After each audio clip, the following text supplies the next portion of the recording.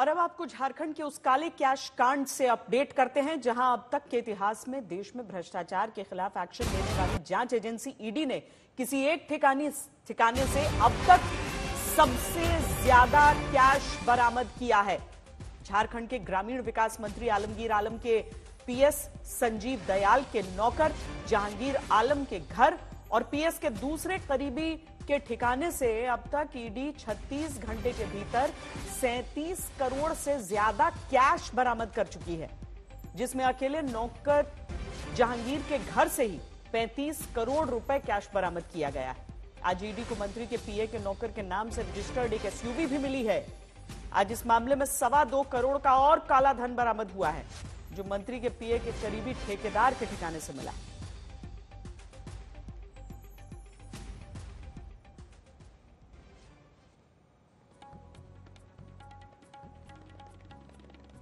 तो 2019 में जेई सुरेश वर्मा को दस हज़ार की घूस लेते पकड़ा गया था।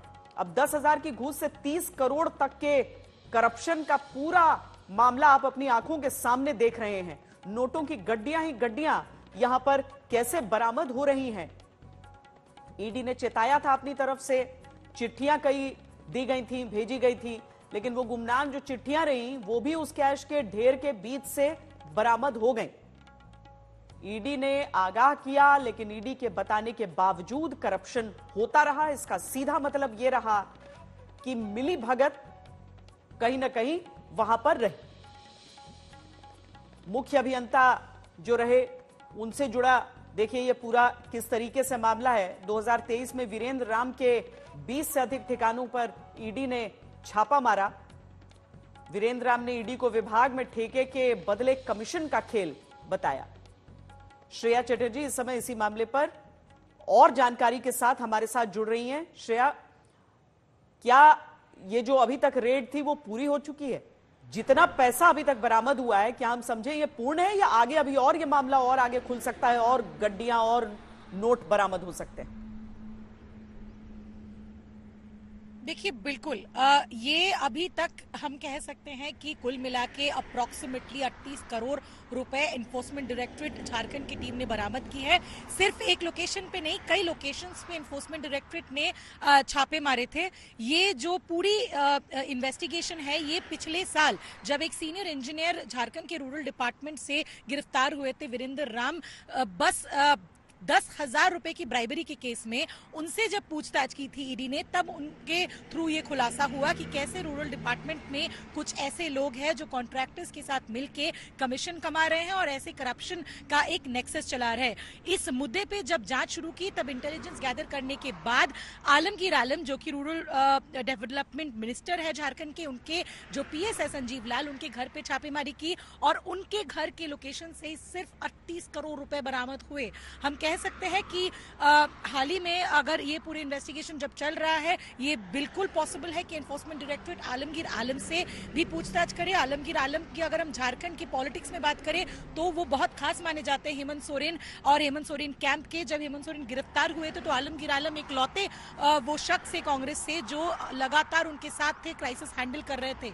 तो ये पूरा जो जाँच है, इसके ज़रिए हम ये भी कह सकते हैं कि एक तरीके से फिर से जो झारखंड की गवर्नमेंट है, उनके तरफ़ खतरा नज़र आ रहा है ईडी की जो जाँच है वो आगे भी बढ़ेगी और मोस्ट लाइकली हम ये कह सकते हैं कि इस पूरे इन्वेस्टिगेशन में आलमगीर आलम से भी एनफोर्समेंट डायरेक्टरेट पूछताछ कर सकती है। लेकिन जब आलमगीर आलम से मीडिया ने सवाल पूछा था श्रेया, तब हमने देखा था कि किस तरीके से वो इस बात को अपने पीएस पर पूरी तरीके से डाल रहे और भी मंत्रियों के साथ रह चुके और वहीं से रिफर किया गया था, इसीलिए उनके साथ रहे।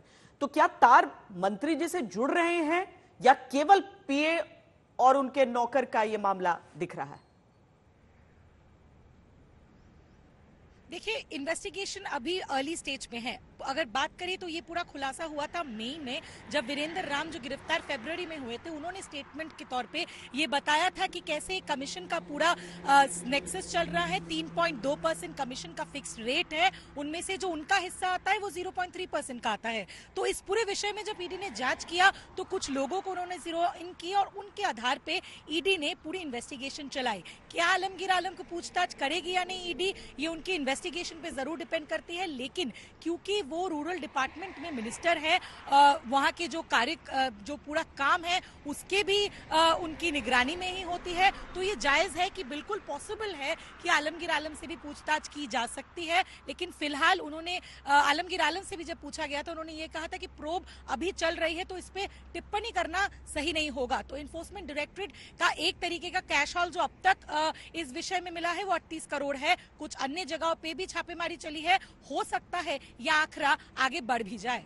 बहुत शुक्रिया श्रेया चटर्जी इस पूरी जानकारी के लिए। तो देखिए कैसे नोटों का पहाड़ यहाँ पर बरामद होता जा रहा है और कार्रवाई पूरी जारी है। हम आपको ये पूरी रिपोर्ट दिखाते हैं जो ईडी की कार्रवाई से जुड़ी है और ये जो नोट ही नोट बरामद हुए जा रहे हैं, उसको आप भी देखिए।